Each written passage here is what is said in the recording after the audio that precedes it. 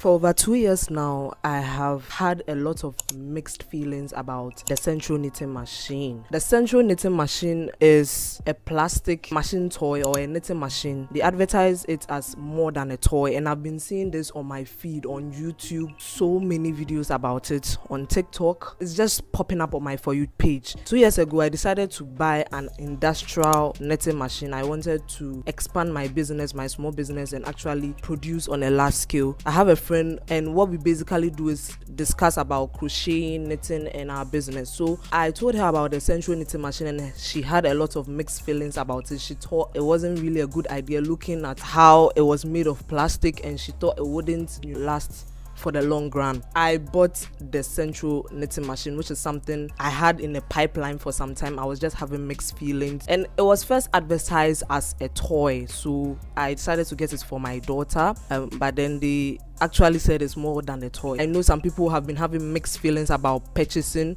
so i'm going to give my honest review. I'm going to unbox it and give my honest opinion about the knitting machine so that i would give you the go ahead whether it's worth it or not. So yeah my name is akosia doma i'm a fiber artist and i do upload every single week. So please subscribe for more content. And now to the unboxing. This is the box it came in um hence the packaging or the box was quite destroyed when it arrived but i love it. My first impression was like what is this beauty? It came with a manual which had picture demonstrations as well. Just to be honest, I expected some yarns to test out with, but looking at the price, uh, maybe they had several different packages that came with yarn, which would be more expensive because mine was 55.75 um, dollars. First, I was just taking a look at the manual. The back portion has Chinese and the opposite side has English and this is the stand it came with this plastic stand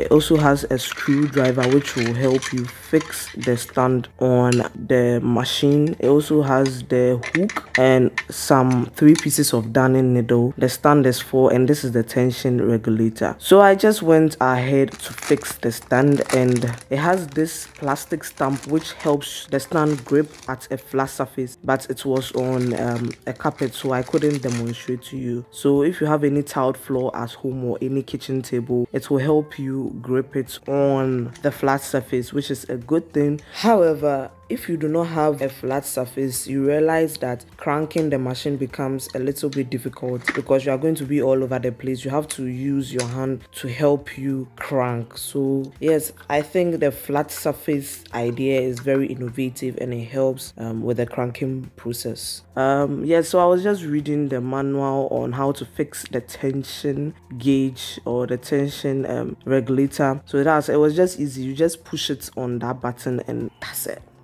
just simple okay? I, I just love it. This machine was very easy to fix. Um it doesn't need any special skills. It's just easy. Also i got some scrap yarn to test and to be honest guys. This was the first instance okay? Um i had no idea that you have to crank for the white peg to be at where the regulator is um until you you are supposed to even move to the the peg after the white peg not around the white peg.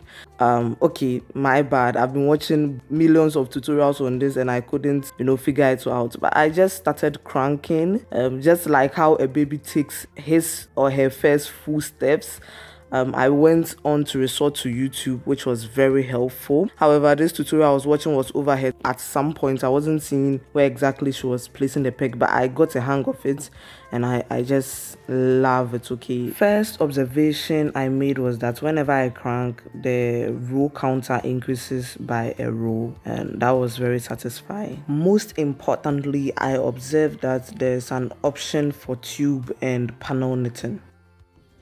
So after cranking like 8 rows, this is how it looks like. I don't know how to feel about this.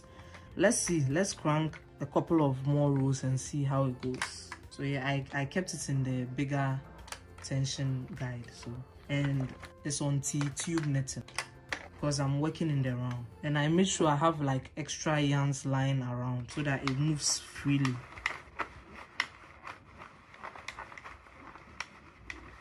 At this point, I did place my handmade knitted raglan top beside me so that I do compare the stitches this machine makes to it. So i was just cranking all around while i was watching a movie which was one advantage. I didn't have to count rows since the row counter did that for me. And so far I wasn't loving the stitches at first. And then I watched another tutorial which explained that when putting it in the tension guide should rather be in the middle if it's not really really chunky. And they also explained to me that the Sentro knitting machine does not really work well with extra chunky and so it should be within the 8 ply section and it should be softer which my yarn brand Adoma fiber qualifies in all these criteria. So i was just excited. Go get your yarn um, from my yarn and craft store adoma fiber. Um, i have very quality cotton yarns. So this is the casting off section okay? I was just casting off um, and i was tired at some points. I just cranked all around and it, the stitches fell off. So i unraveled my yarn and went along to try again okay? You realize that since i have the Sentro knitting machine on the carpet i had difficulty cranking because the stamp was not holding the machine firmly. This time you could vividly see that my yarn is in the middle um, hole for the tension guide. After casting off, I prepared to use another weight of yarn to um, test this machine now let me show you something quickly. You see um, we are going to work or cast around the peg right after the white one. So you just you know cast um it's just like how i just did. And then you're going to do a zigzag motion back and forth whilst cranking slowly okay? So it went in front this time back and then in front you see and then back in front you make sure it hooks the peg the mouth of the peg right here as seen. And then you crank a little for the next peg to come up okay? And then you go back of you go to the back of the peg. So that's how it is. Casting on is quite easy when you keep practicing. So when you crank you realize that the next peg comes up which you just place the yarn right in front and then you go back in front and then back and then in front. Just like that cranking it slowly. Okay you should avoid moving it fast or else you might miss a peg. So just move it slowly cranking. When it comes when the peg comes up you just grip it in front. When it then you go behind in front then you go behind. Please ignore the pegs facing downwards the opposite side of the knitting machine which is something i should have you know been told because it kept conflicting with the moving peg. Whenever you crank slowly the pegs that move is what you would be working on okay? And that's just that's just a note um for you if you buy this machine yeah. Anyways this is not a tutorial but this is the hat i did make. I just love it um oh gosh. This machine is is just something else. Okay i have learned a lot within a few hours of operating the Sentro knitting machine i mean. Oh my god. I hope i don't leave anything out. First of all I mean, it doesn't, you know, it's not bad working with it other reviews I mostly watched were complaining of the noise um, the machine makes. I was expecting something very loud or irritating, even though it makes some cranking noise. It, it is not really that bad. Secondly, I was quite scared of the tension gauge, you know, breaking whilst I was cranking the project. You know, the tension gauge is supposed to keep the tension accurate throughout the process, but since it's made of plastic, when I'm cranking, I feel like sometimes a knot can pull it up. I don't know if you have that experience. If, if you, if you don't take care, it might break, and that was another issue. There's a lot of advantages with this machine um, as compared to the disadvantages. One advantage being it's working quickly within a few minutes i was able to make this beanie okay which is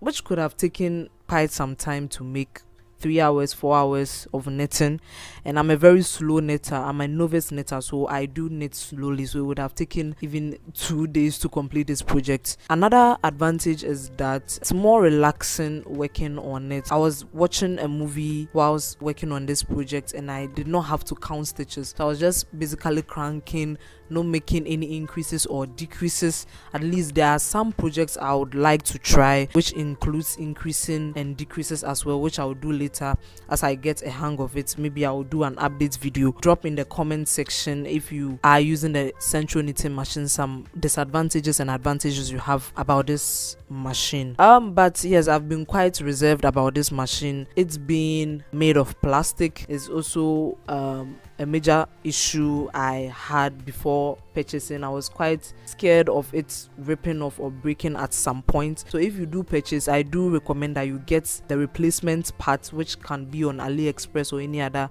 Amazon if you're in the US. But me buying on AliExpress, I, have been quite impressed with the shipping duration.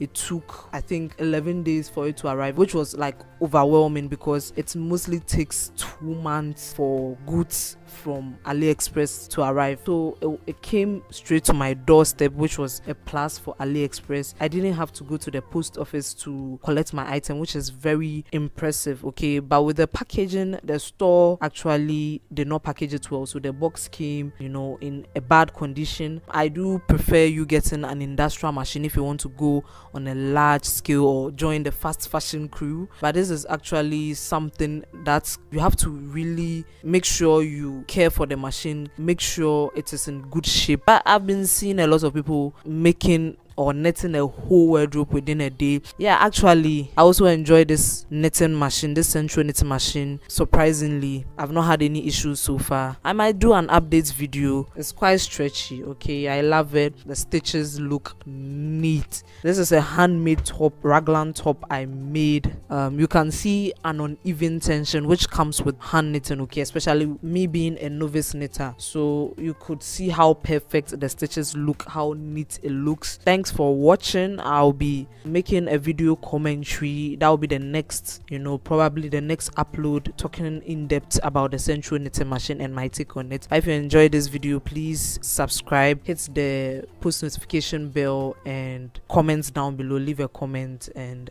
thank you so much for watching